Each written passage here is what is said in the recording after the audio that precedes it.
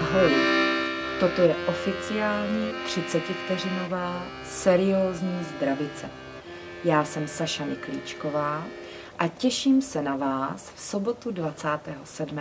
června na scéně Houpací kůň na festivalu okolo Třeboně.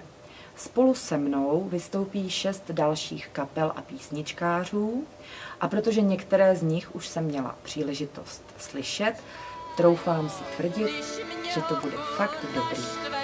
Tak si na tě počká, to teda jo.